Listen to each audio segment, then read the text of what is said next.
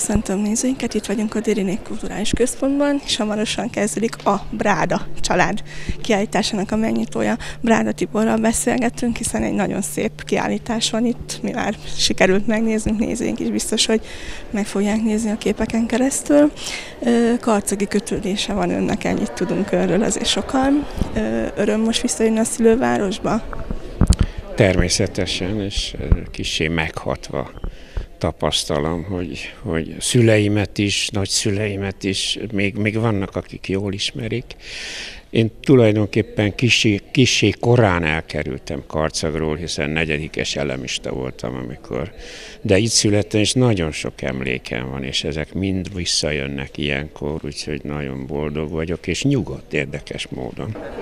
De akkor ezek szerint jól emlékszik vissza az, az iskolás évekre, az, arra a közösségre, ahol, ahol laktak? Melyik részén laktak a városnak?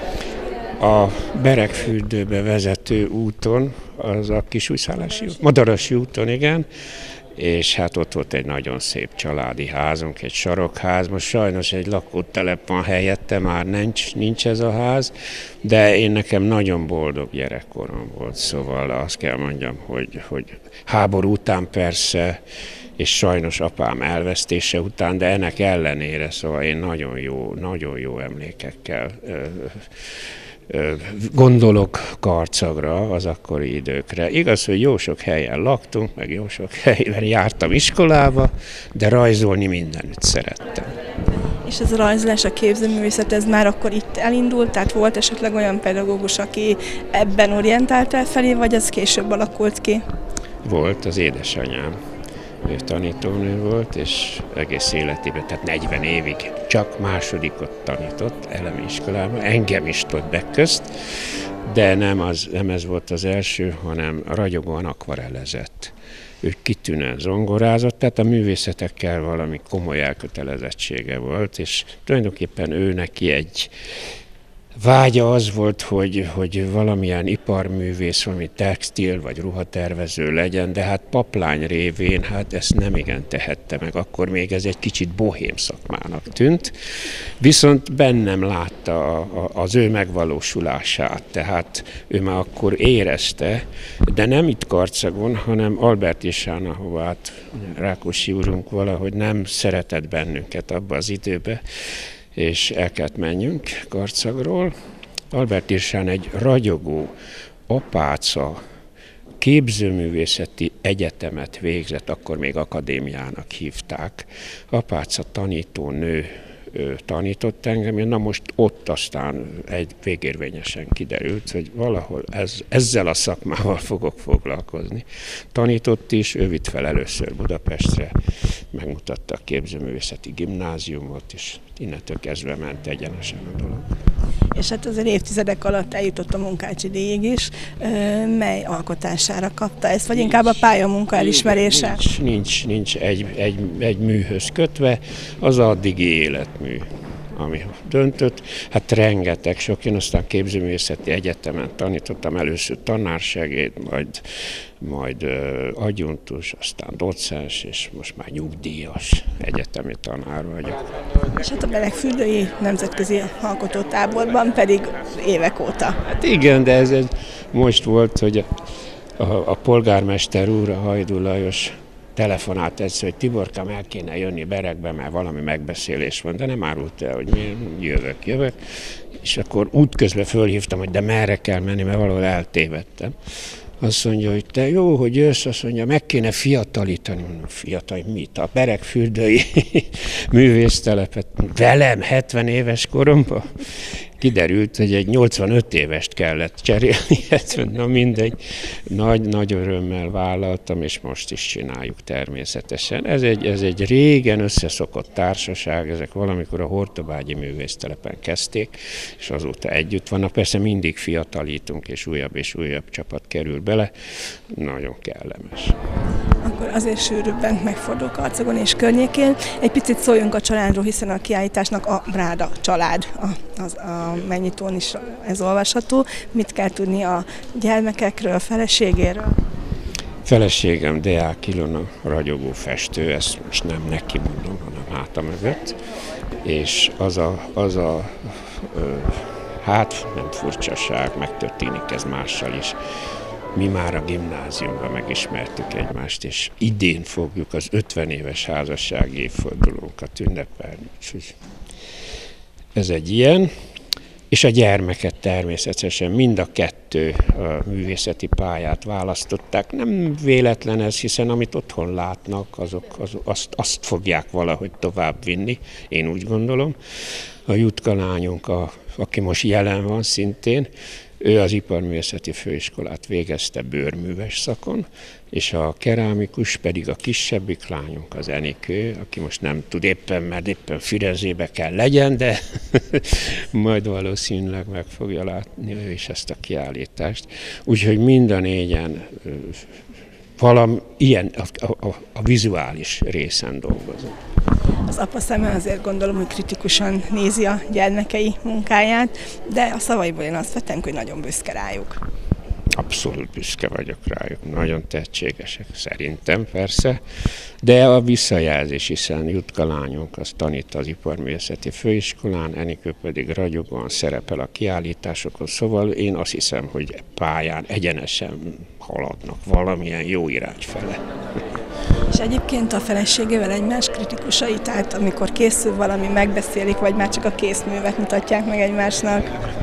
Is, is. Szóval ez, ez, ez változó dolog. Van, amikor direkt megkérdezem, hogy mi a véleménye, van, amikor ő kérdez meg, van, amikor tényleg csak a készművet, és akkor, de olyan igazi egymásnak feszülés nincs, szóval mármint festészeti dologban inkább segítjük egymást. Gondolom, hogy ez az 50 év is így tartott önöket össze, hogy ez a nagyon egyetértésben. Kompromisszum, készség van mind a kettőnkben valószínűleg. Hát akkor még nagyon sok alkotó évtizedeket kívánunk önöknek is, és a gyermekeknek is. Hát köszönöm szépen, remélem, hogy még lesz, ugye most töltöm be a 73 de hát azért még igyekszem, elmondom még azért utoljára, hogy csodálatosan szép munkám van éppen a Sárospataki Bazilika Minornak a, az üvegeit, az üvegképeit bíztak meg ezzel az elkészítésével, és hát végül is egyet már beépítettünk, és még van 17 hátra, ami hát az gyönyörű munka. Remélem, hogy meg is tudom valósítani. Ez 240 négyzetméter Szent Erzsébet életéről van szó, ezt kell valamilyen módon ábrázoljam. Az a gyanú, hogy ez, ez most leköt, és ez éltet. Hát akkor reméljük, hogy ez is kész lesz, és még ezen kívül sok-sok mindenre lesz ideje. Jó egészséget kívánunk hozzá! A kiállítás Sipos Endre fogja megnyitni. Az előbb kérdeztem, hogy van-e karcagi kötődése, de elárult, hogy csak a családnak a barátjaként jött el. Hát van kötődésem az Alföldhöz, meg karszagi kötődésem is van, mert Hajdú Bihari vagyok, tehát az alföldi népművészet érdekel, György István érdekel, meg jártam is itt, meg tanítványom is vannak itt ebben a városban, de hát Bráda Tibornak meg régió barátja vagyok. És ilyenkor az embernek nehéz egy barátról tárgyilagosan beszélni egy megnyitón? Hát az az igazság, hogy én együtt írtunk a, a múlt évben megjelent könyvéből, az akvarel festésről én elemeztem a műalkotásait, tanultam tőle, mert egy kicsit mesterem is volt, és, és tárgyilagosan beszélünk a képekről, én olyan szempontból tényleg elfogult vagyok, főleg az akvareljével kapcsolatban, ezeket szeretem, ezek, ezek hozzám nőttek, miközben elemeztem, de legalább ilyen közel állnak hozzám a feleségének, Ilonának a képei, vagy Enikőnek és Juditnak az alkotásai. Inkább azért volt nekem ez nagy kihívás, ez a kiállításnyitás, mert Tibornak ismerem a művészetét, de a többi családtag művét még nem elemeztem. És egyébként gondolom, hogy azért sok ilyet nyit meg, de itt környékünkön azért nem sokan vannak, akik ilyen, egy művész család, aki ennyien alkotnak és ilyen tehetségesek. Ön biztos, hogy többel találkozott már. Hogyan értékeli a Bráda család művészetét? Nekem az a csodálatos, ebben sok család van, ahol művészet, művészek együtt vannak, férj, feleség, és nem mindenhol van ilyen harmónia, mint náluk. Van, amikor rivalizál, hogy az egyik nagyobb művész. Itt olyan, hogy rendezték a kiállítást olyan tapintatosan, ahogy, ahogy rendezte Tibor a képeit az egyik oldalon, ahogy rendezték, rendezte Ilona a másik oldalon a képeit, és a gyerekek képeit, szóval olyan együttérzés van, és hatnak egymásra. Tehát ezek a, ezek a lányok olyan légkörben nőttek fel, olyan alkotó légkörben, és olyan mívesen szépen dolgoznak, hogy van egy rokonság a művészetükben. És hát azt hiszem ez is titka lehet az 50 évnek, hiszen az előbb művész elmondta, hogy 50 éves házasok lesznek a feleségével, tehát biztos, hogy ez egymást jól kiegészítik. Igen, igen. Szóval a Deák Ilonának a festészete, egy, egy nagyon finom lélektani festészete, és Bráda Tibornak pedig egy, egy kolorista, erőteljesebb művészet, ezek úgy ki is egészítik egymást, és hogy a lányok iparművészek lettek, tehát nem ugyanabban a műfajban dolgoznak, de nagyon mély barátság alakult ki a két lány között. Tehát ha megnézzük a két lánynak a műveit, akkor ugyanazok a problémák foglalkoztatják, hogy hogy lehet különböző anyagokat szervíteni egymással. Tehát, tehát pozitívan hatnak egymásra, és ugyanakkor meg nagyon szerényen szerényen alkotó munkát végeznek, meleg légkörbe, nem beszélve a négy unokáról, aki ugyancsak beletartozik ebben a körbe. És itt mondta, hogy szerényen, de azért nem eredménytelenül, hiszen mind a, mindannyiójuknak jelentős díjai is vannak már. Igen, igen. Hát Tibornak a munkácsi díj mellett elismert művész, és a magyar művészeti közéletben ő azért is egy fontos személyiség. Nem csak azért, mert a festészet napja megrendezésével egy, egy országos szintű komoly fórumot teremtett a festőművészek számára, hanem ő az, a, ő az a festő, meg tanár, pedagógus, aki tanította a főiskolát, akit mindenki elfogad. Az absztrakt festők is, meg a naturalista festők is tisztelik a szakmai tudását, a szakmai ítéletét, zsűrizni hívják, hatalmas energiával dolgozik, de hát az egész család, de Tibor ezt összetartja, nem csak a saját családját tartja össze, hanem talán a festés, a festőknek a nemzedékeit is, mert ő üvegműves, tehát üvegművészettel, színes üvegablak is foglalkozik, nagyon komoly muráliai vannak, mozaik művei, és hát a táblaképfestészet, olajjal, olajfestészetben is van egy életműve, meg van egy akvarel életműve is, tehát ez egy nagyon gazdag életmű.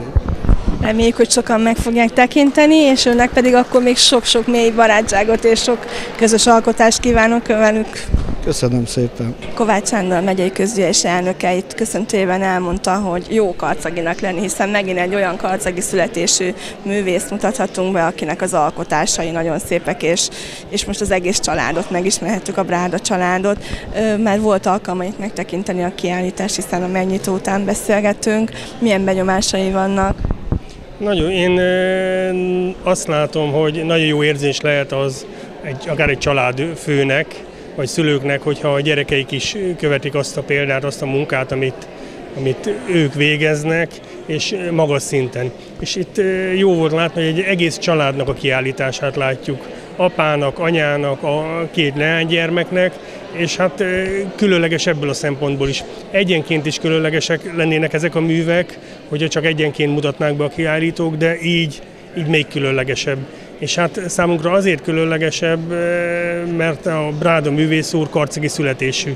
És én már említettem is, mi úgy gondoljuk karcagiak, talán nagy többségben, hogy aki karcagi, akit elfogadtunk karcaginak, azzal büszkék vagyunk, számon tartjuk, és magunkénak érezzük, bárhova kerül a világon, és az, aki, aki karcaginak tartja magát, az bárhova sodorja az élet, bárhova kerül, ő büszke arra, hogy karcagi. Én merem azt hinni, hogy ez egy különleges érzés, ez egy különleges város, egy különleges táj, és hát büszkeséggel tölti el azt, aki itt született, és büszkék lehetünk azokra is, akik itt születtek. És hát azt hiszem, hogy az, hogy a 23. nagykunsági kulturális napok keretében nyílt meg ez a kiállítás, ez egyrészt a művészeknek is egy ilyen nagyobb látogatottságot és ismertséget jelent, viszont a ünnepség sorozatnak a rangját is emeli.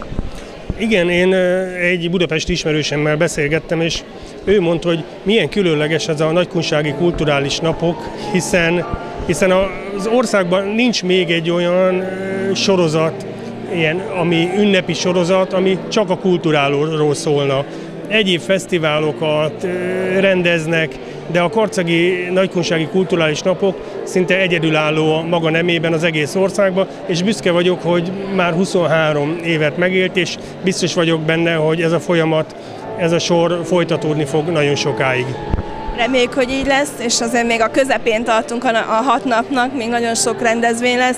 Én azt kívánom, hogy ideje engedi, akkor mindegyikre tudjon elmenni, és tényleg töltekezzen fel ezekkel a kultúrákkal. Igen, aki betekint a programfüzetbe, vannak olyan településeknek, akiknek egész évre van ennyi magas szintű kulturális programja. Karcagon csak az augusztusban, a nagykunsági kulturális napokon van ennyi kitűnő rendezvény, ennyi kitűnő kiállítás, bemutató. Én azt hiszem, hogy minden karcagi büszke lehet arra, hogy nem csak a tudomány, nem csak a politika, hanem a kultúra terén is meg tudjuk mutatni azt, hogy milyenek is vagyunk.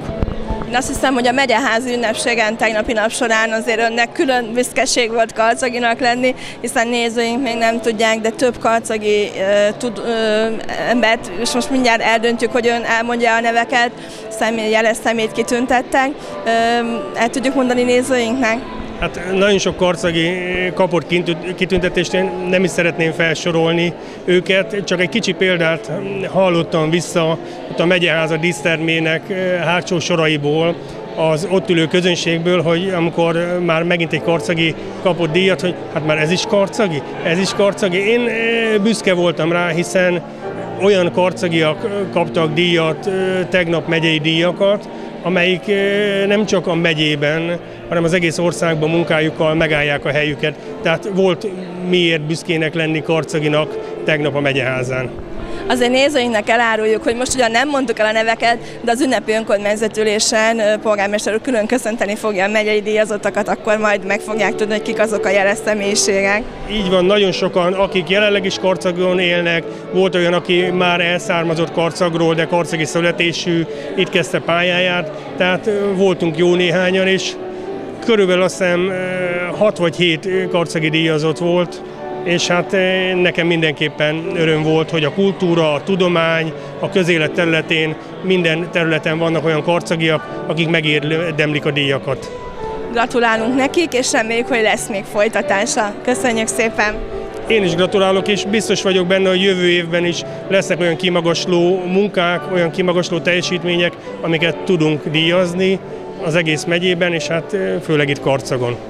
Köszönjük szépen! Én köszönöm a lehetőséget.